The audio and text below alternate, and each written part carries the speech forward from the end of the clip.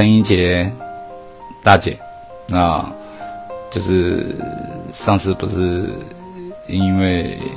案件被判刑定验，快第二个月，啊，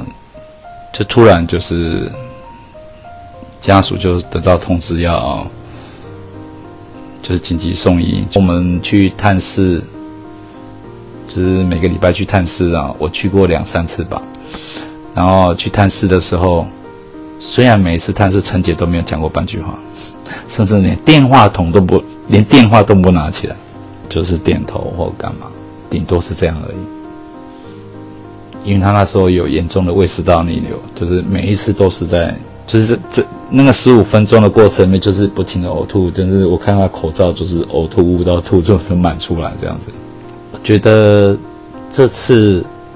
陈姐的病情会急急转直下，我觉得就是服愈以后有没有被好好照顾是没有关系的。是我就跟陈姐的姐姐说，其实长期以来经济状况不好，又又又不出门，然后闷在家里，长期下来等于健康状况都没有人在照顾。然后现在哎去服愈。我觉得就是至少这个官司去面对了，我觉得人生稍就是稍微轻松一点。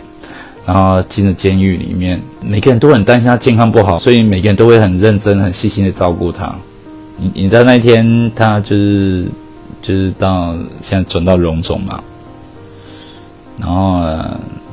就是他是他现在是就是还是有插鼻胃管啊，就是我觉得他。看到他一个人很安稳的在那个病房里面，我觉得他那个点头，没有讲话，那个那个眼神，仿佛就在说，我会努，我会我会努力的。爱上一个人却要一直等